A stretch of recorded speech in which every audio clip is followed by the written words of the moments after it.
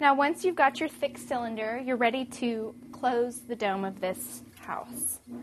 The first step is going to be pulling up and in on the top half of your wall. You're going to want to do this gently and slowly.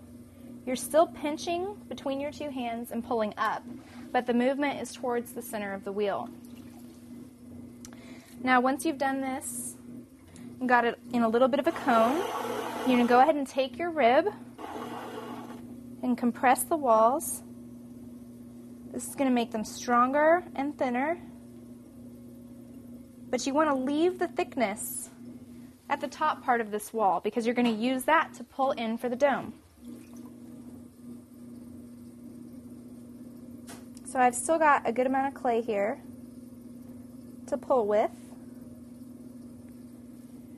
And I can center it in and get closer and closer. Now before I get all the way to the center, I want to go ahead and put in the shape that I want this birdhouse to have. So I'm going to stick my hand through that hole, and I'm going to use my rib. Now I want to give the birds just a little bit of extra space down here, so I'm going to make it a little wider. Because that's where the nest is actually going to be sitting.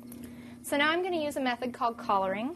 Get the clay in your hands nice and wet, and slowly pinch your hands together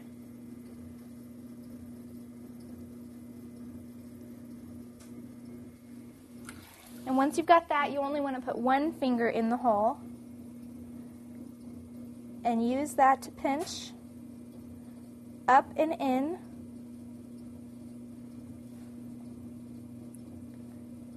Several times until you get it all the way together. Now, once you're about an inch away from closing the hole, you want to just pull kind of straight up and in.